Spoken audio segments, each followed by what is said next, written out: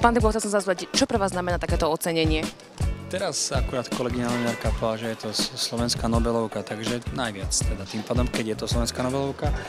A samozrejme, že, že už len byť v nomináciách na toto kryštálové krídlo je úžasné, lebo či to bol Juraj Bartoš, špičkový, minimálne európsky, ak nie svetový hráč, alebo Celeste Buckingham, ktorá tiež teda reálne proste kasíruje úspech v, v svetových hitparádach, fajn. Na druhej strane máme 20 rokov za sebou kariéry, čo je pravda a myslím si, že nás aj na tú vyššiu úroveň trojičku posunutá spolupráca s Symfonickým orchestrom Rádia Slovensko, takže ďakujeme dodatočne za tú šancu a to záväzujúce, je to, že vraj iba raz možno v živote dostať, tak díky a škoda, dobre sa to drží v rukách.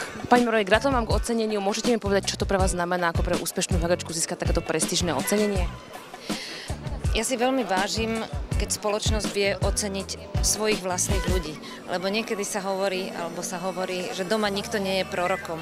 Takže tento počin ja si veľmi vážim, lebo často vidím alebo cítim, že tí zahraniční umelci sú vždy nejakým spôsobom viacej oceňovaní ako tí domáci. A som o tom presvedčená, že my máme veľmi veľa šikovných e, ľudí v celom spektre, či je to vo vede, v kultúre, e, v športe a tak ďalej.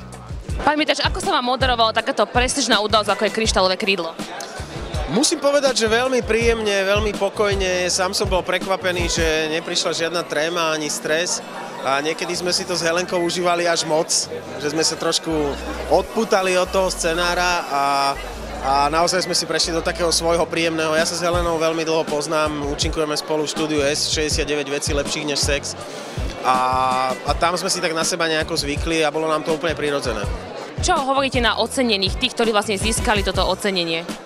Ja si myslím, že toto je, toto je cena, teda toto je hlavne úloha poroty, a, a k tomu by sa mala vyjadrovať porota. Ja som veľmi rád za mimoriadnú cenu pre, pre Mariana Vargu, ktorý bol podľa mňa jeden naozaj veľký hudobný hrdina a, a človek, ktorý naviac e, okrem toho, že dosiahol v profesii akýsi legendárny status, tak e, stále bol aj také, tak, takým symbolom tej doby e, revolty proti, proti, proti režimu a, a prvom rade pre mňa e, je ešte dôležitejšie, že od toho, odľadnúť od toho, aký je vynikajúci hudobník, aký je to človek, ktorý má srdce aj rozum na správnom mieste.